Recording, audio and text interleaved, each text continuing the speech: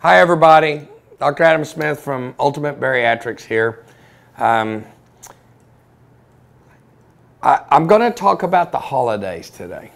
So, uh, holidays are hard for bariatric patients, especially the first year, because holidays are about all about food and family and gatherings and things, and they're going to be different this year because of the pandemic and everything, they're discouraging large gatherings.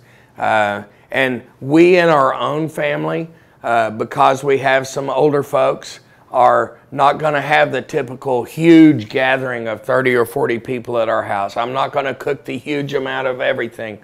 So it's going to be real different for us. And if you're a weight loss surgery patient, it's to might even have the potential to be a little bit harder because that first round of holidays after you have your surgery, you no longer can consume that huge plate of turkey and dressing and cranberry sauce and gravy and whatever your particular food preferences are during the Thanksgiving holiday. And so the bad news is is you're going to go through a, a denial and an anger and a, a separation process uh, not just the first year, because every holiday year, sometimes I, I think back about all those happy childhood memories that we had about these.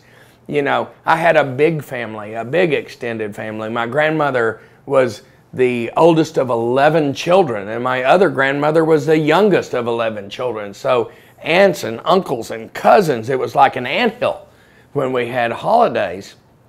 And, and I miss that. You know, that, that was my childhood memories and very happy times. And it was all about food and, and, and traditional foods. Like my, my father's side of the family, their food was different than my mother's side of the family, you know, and, and then certain particular dishes that were unique and stuff. And now I can't eat them. And, and now I've lost half of the recipes, even if I wanted to be able to eat them. So I just want you to take a minute to stop and think about how we're going to handle these holidays uh, from a weight loss surgery perspective. It's not about food. It's about reflection. It's about family. And even if we can't meet together, uh, my mission this year is to reach out, and I'm going to even get stationery and handwrite communication to my family members this year and my friends and I'm going to send them personal messages because we can't be together doesn't mean that we can't be together in spirit. And for the food, we're not going to make a big old turkey. We're not going to make a big old feast this year for Thanksgiving. We're going to keep it extremely simple. We're going to focus on the things that matter, and that is preserving our health, staying on the course, appreciating the things that are positive. We've had a lot of negative things happen to us this year, uh, uh, both personally and professionally, just like everyone else in the whole country. But it is my promise to myself, and I'm going to try to promise my family and my staff that we're going to keep this holiday season positive. It's not going to be about food. It's going to be about getting better, getting better physically, getting better spiritually, and getting better relationship wise with the community and our friends. We will pull through this. It's going to get better. It may not happen tomorrow, it may not happen next week, but we're going to get better. We're going to come out on the other side. But the most important thing you can do is let's keep our weight down because we know that being significantly overweight makes us a bigger, more dangerous target for this horrible virus. So let's not regain weight during the holidays. Let's keep our eye on the prize. Let's focus on the things that matter and let's get through this holiday season.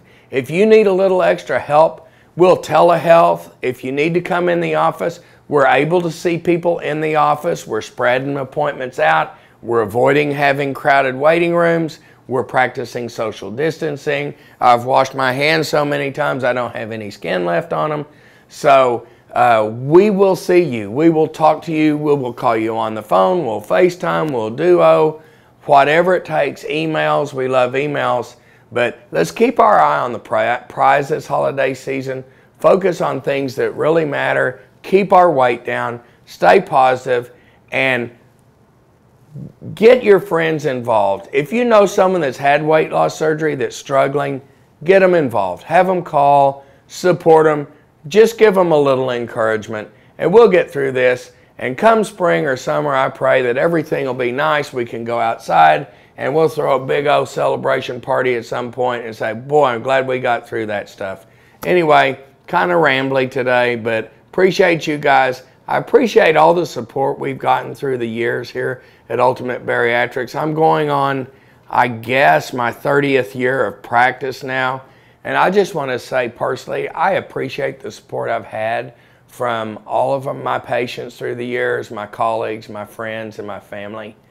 And I just want to say thank you to everyone that has placed their trust in us here at Ultimate Bariatrics. And we want to reach out to you. We want to support you. We want to do whatever it takes for you to have a safe and healthy holiday season and a great new year. Thanks for visiting. Bye bye.